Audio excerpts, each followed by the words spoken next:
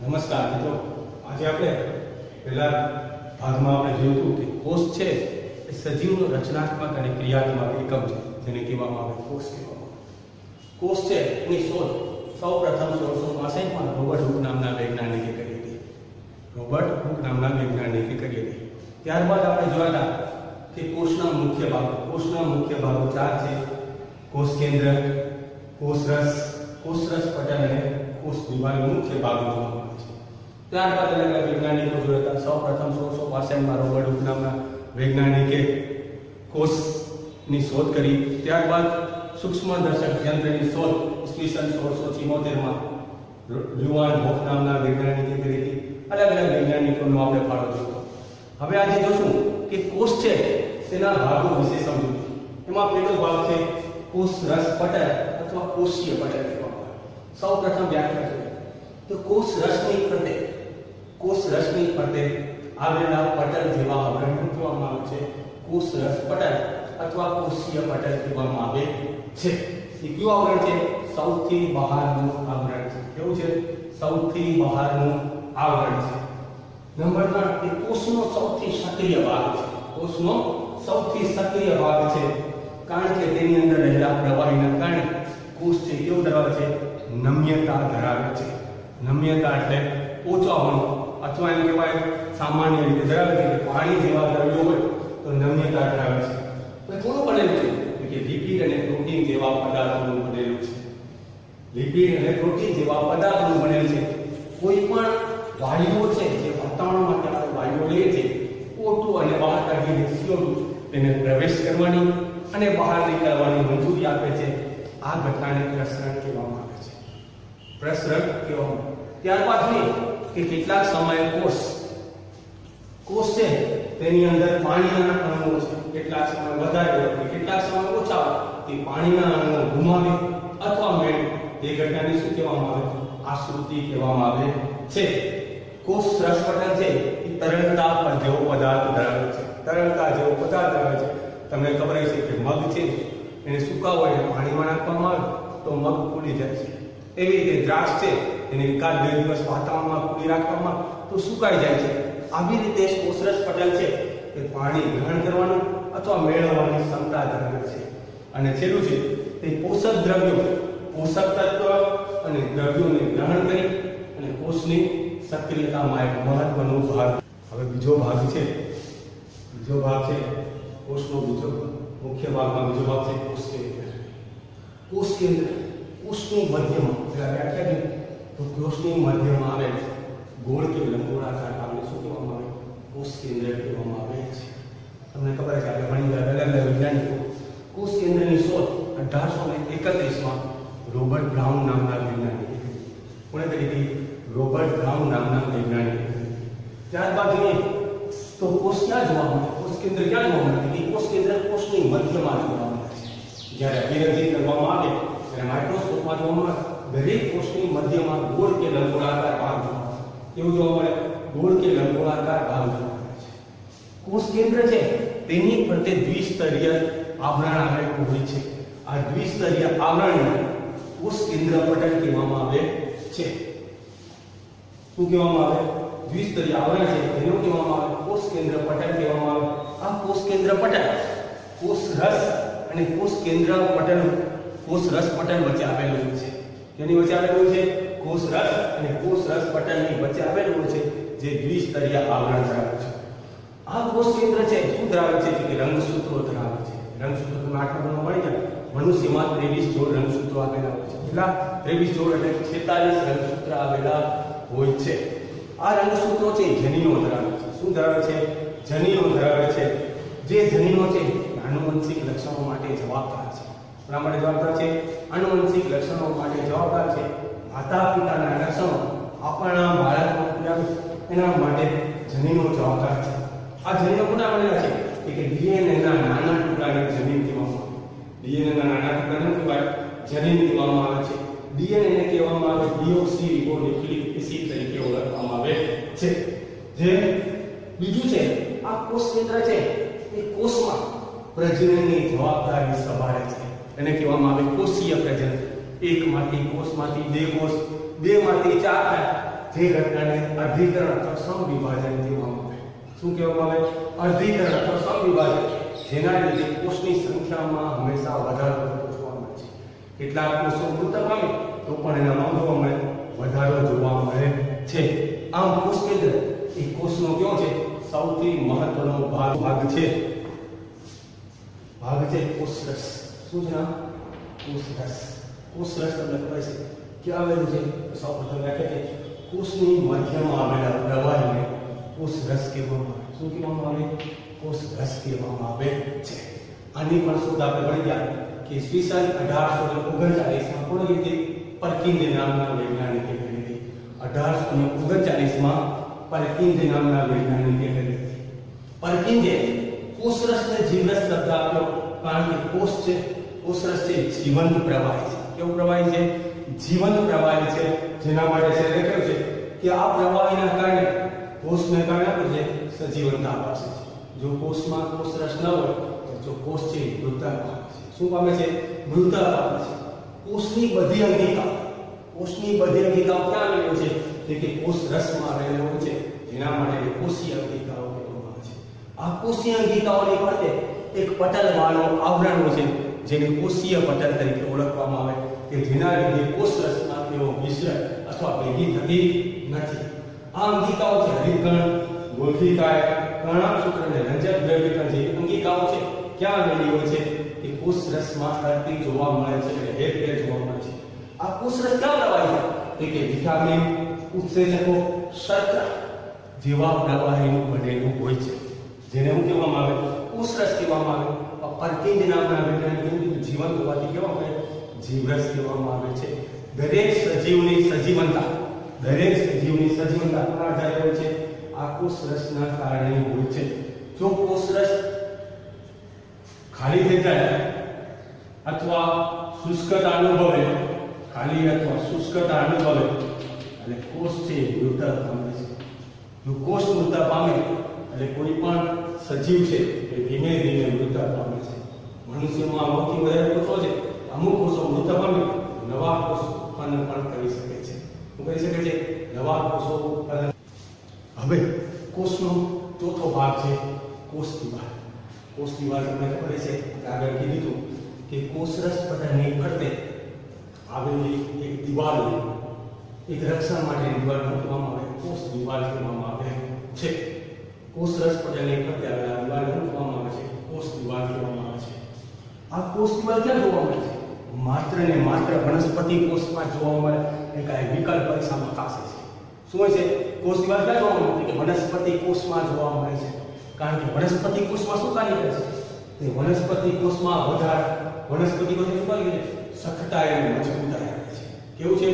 સખતા અને મજબૂતાઈ આપે છે. જે વધારાનું કેવું કારણ છે? વરણ આવરણ છે. વનસ્પતિની ફરતે કોષની ફરતે બરણ આવરણ છે જેમાં પછી સખતાઈ અને મજબૂતાઈ આપે છે. જે કોની બને છે? તો કે સેલ્યુલોઝની બનેલી છે. કોષની વાળ હંમેશા કોની બનેલી છે? સેલ્યુલોઝની બનેલી છે. તો કેટલીક સામાન્ય કક્ષાની વનસ્પતિ છે, ખૂબ એવી વનસ્પતિમાં કોષ વાળ કોની બનેલી છે? કાઇટિનની બનેલી હોય છે. આ સેલ્યુલોઝ છે, એક જટિલ પદાર્થ છે. કેવો પદાર્થ છે? જટિલ પદાર્થ છે, જે બંધારણની રીતે વનસ્પતિ કોષને મજબૂતાઈ આપવાનું છે શું કરે છે. વનસ્પતિ કોષને મજબૂતાઈ આપવાનું કાર્ય કરે છે સામાન્ય રીતે કહેવામાં રક્ષણનું કાર્ય કરે છે. હવે છે, વનસ્પતિ માટે શું માટે કોષ આવે છે?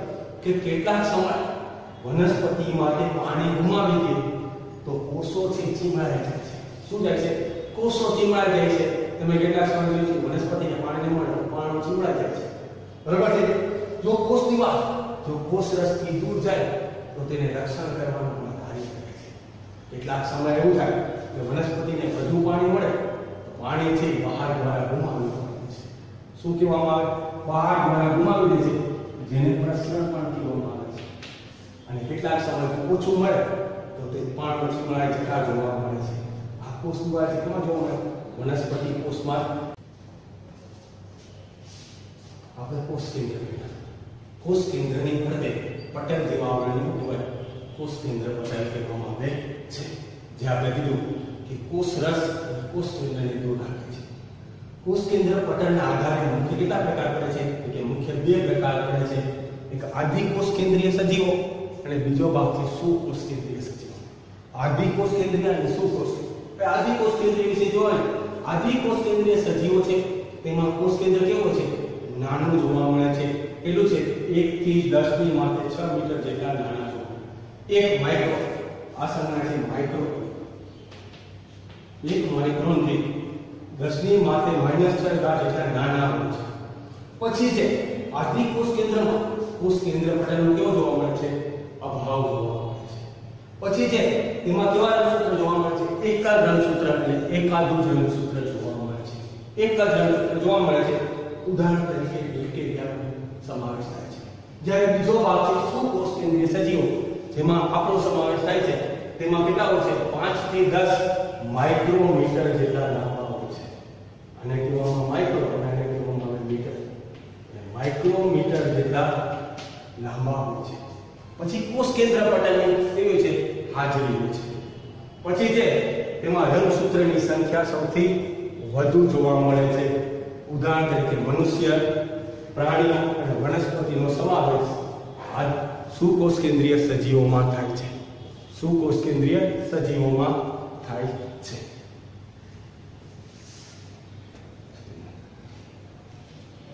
જો આપણને પરીક્ષા, તો તફાવત પૂછાય તો આદિ કોષ કેન્દ્રીય સજીવો અને સુકોષ કેન્દ્રીય સજીવો, તો તફાવતનો પહેલો મુદ્દો આવશે કે આદિ કોષ કેન્દ્રીય સજીવો નાના હોય છે.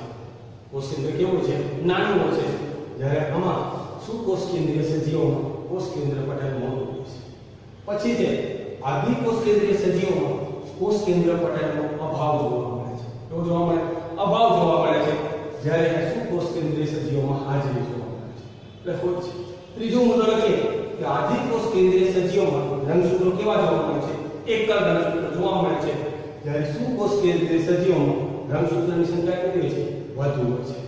ત્યારબાદ છે, એના ઉદાહરણ તરીકે જોઈએ. આધિકોષ કેન્દ્રીય સજીવોમાં સમાવેશ કોણ થાય છે? બેક્ટેરિયાનો સમાવેશ થાય છે. જ્યારે સુકોષ કેન્દ્રીય સજીવોમાં કોણ સમાવેશ થાય છે? મનુષ્ય પ્રાણીઓ અને વનસ્પતિનો સમાવેશ થાય છે. નમસ્કાર. આપણે વિશ્વાસ પટેલ ગણી વિશ્વાસ પટેલમાં આવ્યું. અંદરનું દ્રાવણ અને બહારના દ્રાવણની સાંદ્રતા. અંદર એટલે કોષ અને કોષના બહારની સાંદ્રતા. તો અલગ અલગ હોય અને આકૃતિ તરીકે ઓળખવામાં આવે છે. તે આપણો શાસન પાણીના અણુઓની ગતે પસંદગીશીલ પ્રવેશશીલ પટલ પસંદગીશીલ પ્રવેશશીલ પટલ કોણ તો કે કોષ રસ પટલ કોષ રસ પટલ દ્વારા થાય છે જેનું કહેવામાં આવે આશ્રુતિ કહેવામાં આવે આશ્રુતિ છે એ અંદરનું દ્રાવણના આધારે નક્કી કરવામાં આવે પાણીમાં દ્રાવ્ય પદાર્થની માત્રા જો કહેવામાં આવે સાંદ્રતાના આધારે નક્કી કરવામાં આવે એના આધારે ત્રણ પ્રકાર પડે છે પેલું છે અધો સાંદ્રતા શું છે કે બહારના પાણીની સાંદ્રતા કેવી હોય વધુ પ્રમાણમાં બીજું છે. સમસાંદ્ર દ્રાવણ પાણીના પ્રમાણની સાંદ્રતા કેવી? સમાન જોવા મળે. અને ત્રીજું છે, પાણીના સાંદ્રની સાંદ્રતા કેવી જોવા મળે છે? ઓછી જોવા મળે. તો પેલું પ્રકાર આપણે ભણી અધો સાંદ્રતા. જો કુશ છે એની બહાર પાણીનું દ્રાવણ છે, જો વધતું હોય, તો શું થાય છે? કોષ જરૂર જેવું મળે. શું થાય છે? કોષ ચીમળાય કારણ કે પાણીનું પ્રમાણ વધતું હોય તો શું થાય? ચીમળાય જેવું જોવા મળે છે. બીજું છે સમસાંદ્રતા જો કોષ અને પાણીનું દ્રાવણ ઓછું હોય પાણી જેટલું જોતું હોય ઓછું મળે છે, કોષને પૂરતા પ્રમાણમાં પોષણ મળતું નથી. એટલે કોષ ધીમે ધીમે મૃત સ્થિતિમાં જતું જોવા મળે છે. ત્રીજો પ્રકાર છે અધિસાંદ્રતા અધિસાંદ્રતા કેવું છે કે કોષ અને પાણીનું પ્રમાણ કેવું છે? સમાન જોવા મળે છે. જો પાણી વધુ પાણના હોય અને ઓછું પાણના હોય એને કહેવામાં આવે છે સમાન અને કહેવામાં અધિસાંદ્રતા આવું ન સમજાય કારણ એક સામાન્ય પ્રશ્ન છે. જો મગ છે એને પાણીમાં નાખવામાં આવે વિકાસ દિવસ નાખો તો મગ શું થાય છે ઉડાઈ જાય છે અને એમાં શું થાય છે પાણી અંદર નાખતા આવી બીજી પ્રક્રિયા છે હમણાં બજારના દ્રાક્ષ નીકળે છે. એ દ્રાક્ષને જો પાણીમાં નાખવામાં શું કોઈ અસર થશે નહીં કારણ કે દ્રાક્ષની અંદર પણ પાણી છે અને બહારમાં શું પાણી છે તો કોઈ અસર થતી નથી બીજું છે જો સુકેલી દ્રાક્ષ બજારમાં જે ડ્રાય કહેવામાં આવે જો તેને પાણીમાં નાખવામાં આવશે તો થાય છે ઉડાઈ જાય છે કારણ અંદર પાણીનું પ્રમાણ છે ને અને બહાર પાણીનું પ્રમાણ આપવામાં આવતું થાય છે ઉડાઈ ગયેલી જોવા મળે છે. આવું આપણને એક પ્રવૃત્તિ આપે છે. એમ કીધેલું છે કે ચિંદાને બજારમાં ઈંડા મળે છે ઈંડા લઈ અને એક્સેલ લાવવામાં રાખવામાં આવે શું થાય છે? તેનું વિઘટન થતું જોવા મળે છે. કારણ કે ચિંદાનું કવચ છે? કે સી તે સી નો ત્રીજી બનેલું છે. કોનાથી બનેલું છે? સી એ સી નો ત્રીજી બનેલું છે. જેના લીધે HCl ધીમે ધીમે વિઘટન થતું જોવા મળે છે. બહારનું જો સાંદ્ર દ્રાવણ છે HCl કેવું કહેવામાં આવે? સાંદ્ર જોવામાં આવે એનું તો છે વિઘટન થતું જોવા મળે આવું કીધું છે. આપણે સામાન્ય કોઈ પણ ઈંડાને પાણીમાં રાખવામાં આવે, એમાંથી કોઈ ફેર પડતો નથી. ઈંડાને તમે પાણીમાં રાખો. તો કોઈ અસર થતી નથી. અસર થતી નથી. જો ઈંડાને ગરમ પાણીમાં રાખવામાં આવે, તેની ખબર શું થાય છે? ધીમે ધીમે જાય છે. અને ઉકળાઈ જાય છે, એને પીવામાં આવે છે. આપ મેળે પકાઈ શકે છે. આ શ્રુતિ છે. ત્રણ સાંદ્રતાઓના સાંદ્ર આધારે નક્કી કરે એનું છે અધો બહારના પાણીની સાંદ્રતા કેવી જોવા મળે, વધુ જોવા મળે. આમાં પાણીના સાંદ્રની સાંદ્રતા કેવી જોવા મળે છે. સમાન જોવા મળે છે. અહીંયા કેમ જોવા મળે છે? ઓછી જોવા મળે છે. ત્યારે કેટલું અહીંયા કેમ છે? વધુ. અહીંયા કેવી છે? ઓછી. અહીંયા કેવી છે? સમાન જોવા મળે છે. એના પછીનો ટોપિક છે. આપણે ભણી ગયા પુષ્પિન્દ્ર પટલને આધારે બે પ્રકાર કેટલા પ્રકાર પડે છે બે પ્રકાર પડે છે એક છે આદિ કોષ કેન્દ્ર પટલ કોષ અને બીજું છે સુકોષ કેન્દ્રીય કોષ એમાં જે ભણશો આપણે સુકોષ કેન્દ્રીય કોષની રચના એની રચના ભણશું સુકોષ કેન્દ્રીય કોષની રચના આપણે ભણશું આપણે તફાવત ભણી ગયા ત્યાર પછી છે સુકોષ કેન્દ્રીય આદિ કોષ કેન્દ્રીય કોષ આદિ કોષ કેન્દ્રીય કોષ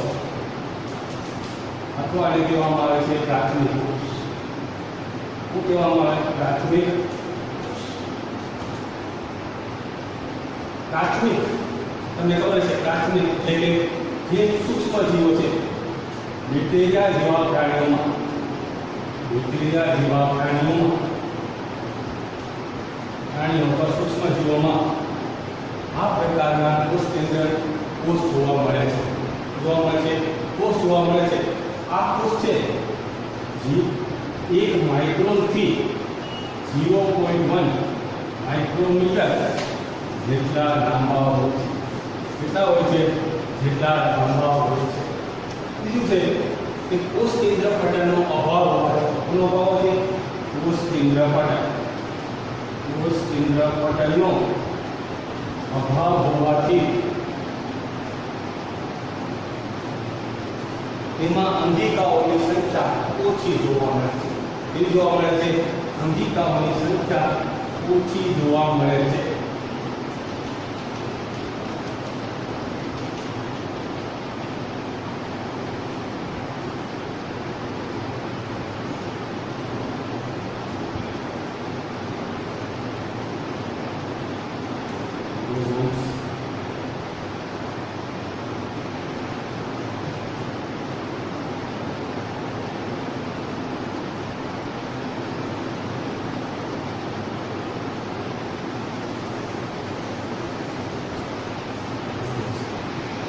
જો એની રચના જોઈએ તો તેની રચના નળાકાર જોવા મળે છે તેની બહાર કોષરસ પટલ જોવા મળે છે.